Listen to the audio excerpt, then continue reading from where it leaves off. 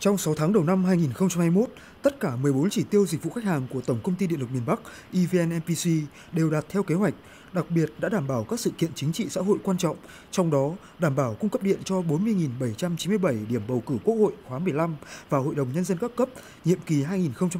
2021-2026 trên địa bàn 27 tỉnh phía Bắc.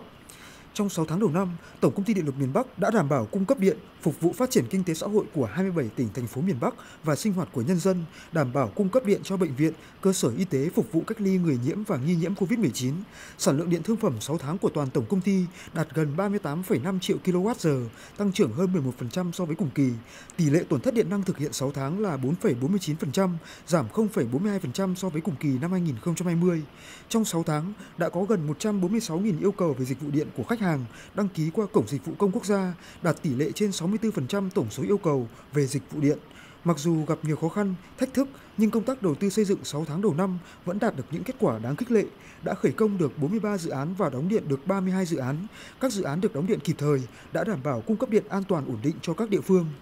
Trong 6 tháng cuối năm 2021, Tổng công ty tiếp tục chỉ đạo các đơn vị thực hiện nhiều giải pháp trong hoạt động sản xuất kinh doanh, tiếp tục thực hiện tốt nhiệm vụ phòng chống dịch COVID-19 và đảm bảo sản xuất, cung ứng điện cho hoạt động sản xuất kinh doanh và sinh hoạt của người dân. Tiếp tục đẩy nhanh tiến độ thi công các công trình điện, tiếp tục triển khai các hoạt động tuyên truyền sử dụng điện tiết kiệm mùa nắng nóng, đảm bảo an toàn lưới điện trong mùa mưa bão, đẩy nhanh tiến độ thực hiện công tác chuyển đổi số theo kế hoạch đã đề ra.